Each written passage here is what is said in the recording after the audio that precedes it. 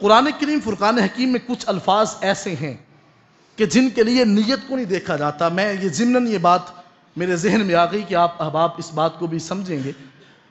नीयत को नहीं देखा जाता, वहाँ पे सराहत को देखा जाता है। मिसाल के तौर पे मुआशरे का ये एक हिस्सा हो चुका है। बहुत से वो लोग हमसे ये मसाइल पूछते हैं कि, हज़रत, हम अपने घरवाली को लफ्ज़ तलाक बोल देते हैं। इसके हवाला से शरी हुक्म क्या है? उलमा फरमाते हैं कि अगर सराहत के साथ तीन मरतबा लफ्स बोल दिया तो वो तलाक़ मुगलिजा जो है, उसका वकू हो जाता है। वो औरत उस मर्द के लिए हराम हो जाती है।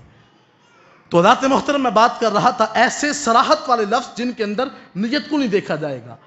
फिर इंसान बाद में बहाना करता है कि हज़रत, जब मैंने तलाक दी थी तो मेरी नीयत नहीं थी। मैं तो वैसे उसको डरा धमका रहा था।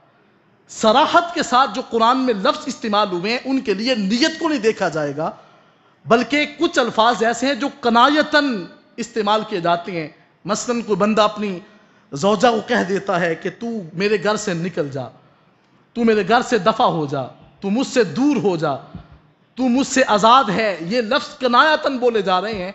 इनके अंदर फ़की इंसान पूछेगा कि यार तेरी नीयत क्या थी? अगर नीयत छोड़ने की हुई तो तलाक वाक़ हो जाएगी।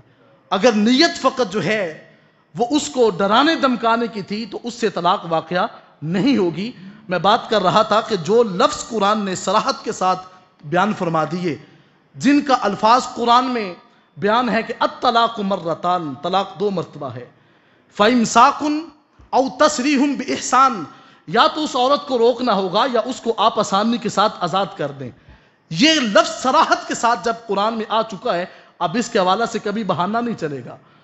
दाएँ बाएँ उलमा को तंग करने की कोशिश ना किया करें। बहुत से लोग वो भी मिलते हैं जो कहते हैं कि, हज़रत, आप लिख देना कि तलाक तीन मरतबा कहने से भी कुछ नहीं होता।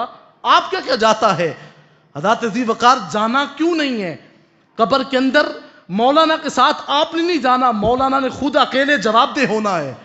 तो हज़रत जी वकार, इन हवालों से, इन बात के हवाले से कभी सोचा करें कि हम उलमा को ये कैसे कह देते हैं कि यार आप लिख दो, तुम्हारा क्या जाएगा?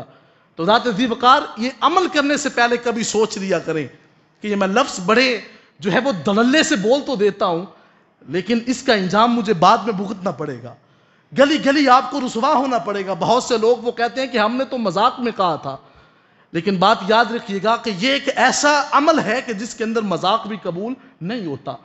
उलमा फरमाते हैं, निकाह के अंदर मज़ाक नहीं है, तलाक के अंदर मज़ाक नहीं है, किसी का जनाजा पढ़ने के अंदर मज़ाक नहीं है। हज़रत बाकी बिल्ला रहमत के सामने कुछ तालब इलम थे, उन्होंने एक बच्चे को उठाया और कहा, हज़रत जी, इसका जनाजा पढ़ दें। आप फरमाते हैं कि, यार बाबों को, बुज़ुर्गों को तंग नहीं किया जाता।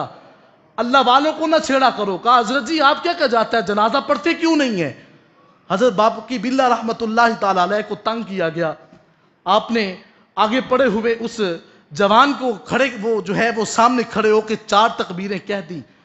अब चार तकबीरें कहने के बाद बच्चों ने शुगल किया हुआ था कि बाबा जी, जब चार तकबीरें कह दें तो तुमने फ़ौरन खड़े हो जाना होगा।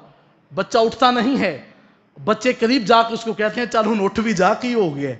इतनी बात की तो हज़रत बाकी बिल्ला फरमाते हैं, अब इसको रहने दो।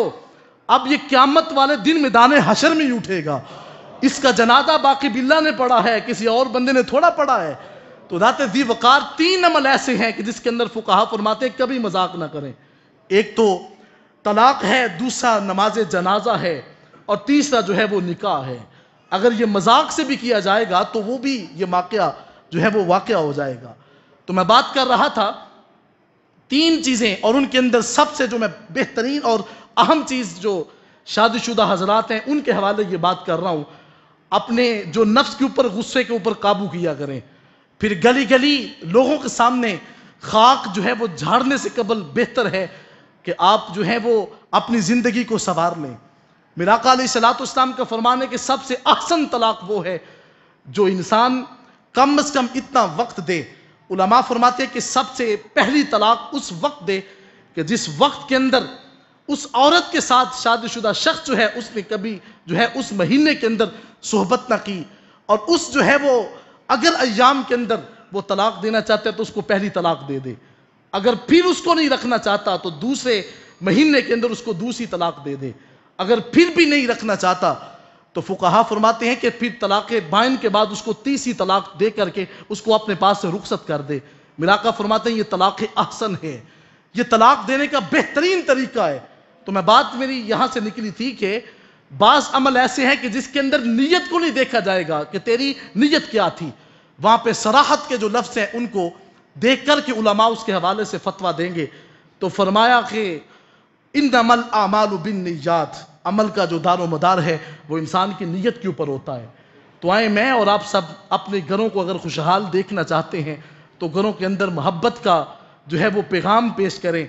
अपने घर वालों को बिठा करके कभी मिलाका सलातम की बारगाह में शख्स हाजिर होकर के अर्ज़ करता है, हजूर, हर वक्त लड़ाई झगड़ा रहता है। कभी घर के अंदर अमन नहीं आता। तो मिलाका सलातम ने फरमाया कि घरों के अंदर अगर अमन चाहते हो तो उसका हल ये है कि तुम अपने घर वालों के साथ बैठ कर कभी खाना भी तनावर किया करो। जब घर वालों के साथ मिलकर आप खाना खाएँगे तो शफकत और मोहब्बत का माहौल पैदा होगा। हज़रत आयशा सदीका रदी अल्लाह तहा अकाल सलातम के जौजा मोहतरमा है। हजूर सलातम ने एक दिन कहा कि, आयशा ये पानी का प्याला है, इसमें से पानी तो पियो। हज़रत आयशा सदीका फरमाती है, मैंने पानी पिया। तो मेरे आका सलातम ने मुस्कुरा कर फरमाया कि आयशा, मुझे बताओ तुमने होंठ कहाँ पे रखे थे? अर्ज़ की, हजूर, आपने क्या करना है? फरमाया, मैंने उम्मत को दर्श देना है कि जहाँ पे तुम्हारे होंठ लगे हैं, मैं भी वहाँ से पानी पीऊँगा। अपनी शरीक हयात के साथ, मोहब्बत के साथ पेश आना यह कोई जुर्म नहीं होता। मदीने वाले आका की सुन्नत होती है। कभी घर के अंदर माहौल तो पैदा करें ऐसा कि जिसके ज़रिए से घरों के अंदर अमन वाक़ हो, सुकून आ जाए और मोहब्बत की जो फ़ज़ा है वो परवान चढ़ना शुरू हो जाए। तो रात वकार में बात कर रहा था कि इंसान की जो नीयत है, उस, उसके अमल जो है, उसका दारो मदार इंसान की नीयत के ऊपर होता है। इसके हवाला से अगला जुमतुल मुबारक आप नज़र किया जाएगा। अल्लाह ताला मेरी और आपकी हाजिरी को शरफ़ कबूलियत अता फ़रमाए। वाखरुदावान अलहमदिल्ला